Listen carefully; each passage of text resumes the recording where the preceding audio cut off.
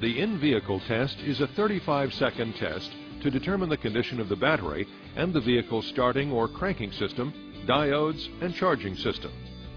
To do the in-vehicle test, follow these steps. Do the setup as in pre-test steps located on page 3 of the operator's manual. Use the up and down arrow keys to select In Vehicle and then press the Go key. This displays the Choose Battery Type screen. Do one of the following.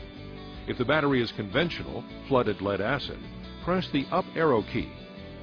If the battery is AGM, press the down arrow key. This displays the battery's open circuit voltage, or OCV. Press the Go key. This displays the Select Unit screen. Use the down arrow key to select a capacity rating for the test. After selecting a capacity rating, press the Go key. This displays a screen for entering the capacity rating. Use the up and down arrow keys and adjust the rating until it matches the rating on the battery's label. Press the Go key to begin the test. The screen displays first load on, recovery period, second load on, recovery period, and then working as it applies two medium loads to the battery followed by recovery periods. Wait for the screen to display Proceed with starting or charging test. Do one of the following. To start the test, press the up arrow key and continue with the next step.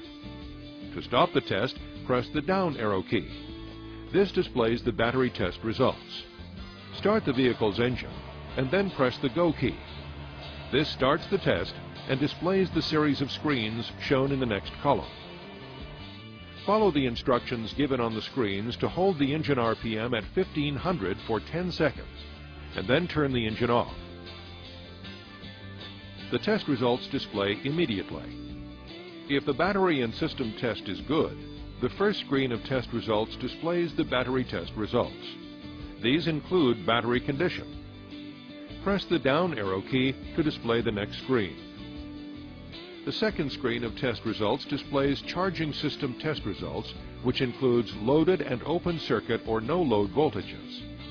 Press the down arrow key to display the next screen.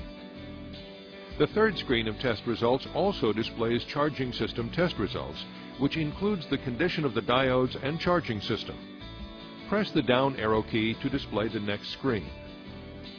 The fourth screen of test results displays the charging system test results, which includes the cranking voltage, or voltage during starting, and condition. If you have the printer, optionally print the test results. To end the test and return to the main menu, press the menu key. Select another test or disconnect the clamps from the battery. Press the off key to turn the tester off. The quick test is a one second test to determine the battery voltage and actual cold cranking amperes. This feature of the Sabre HP enables you to quickly check the charge of several batteries in succession.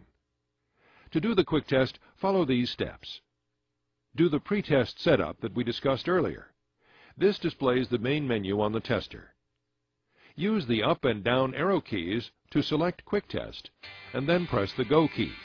This displays the Choose Battery Type screen. Do one of the following. If the battery is conventional, flooded lead acid, press the up arrow key. If the battery is AGM, press the down arrow key. This displays the battery's open circuit voltage.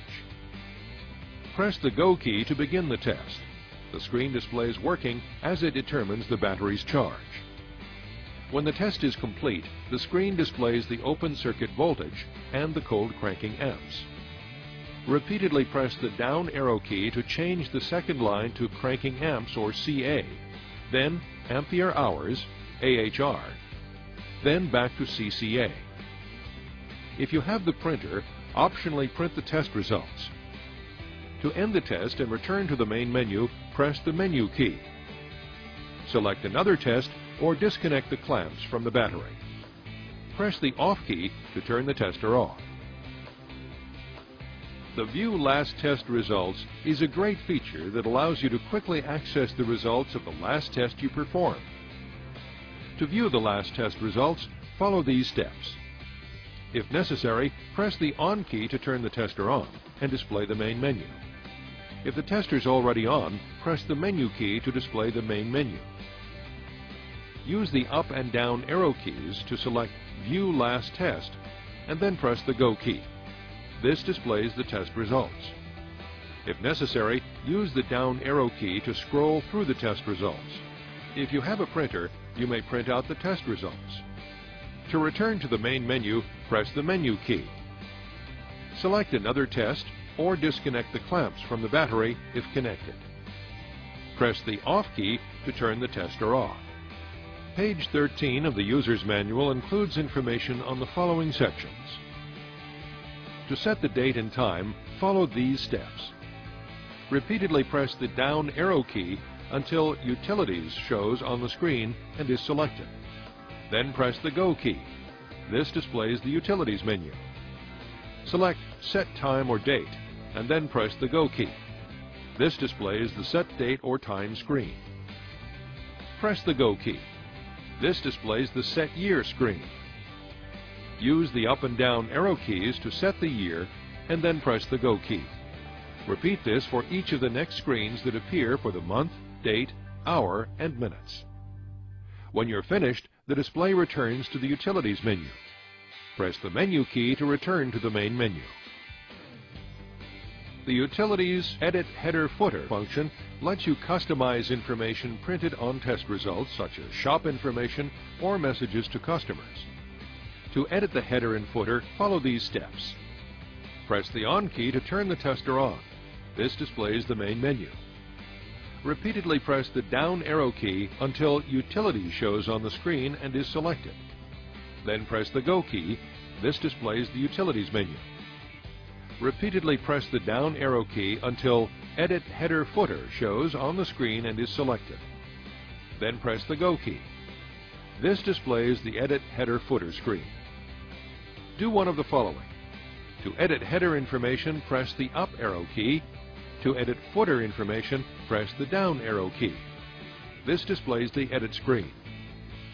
Enter the desired text as follows press and hold down the up arrow key until the desired letter or number appears. After using the up arrow key, you can also use the down arrow key. Press the Go key to move to the next space.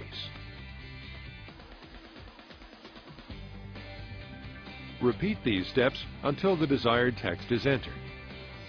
When finished, press the menu key twice to return to the main menu. Replacement and optional parts can be ordered directly from SPX.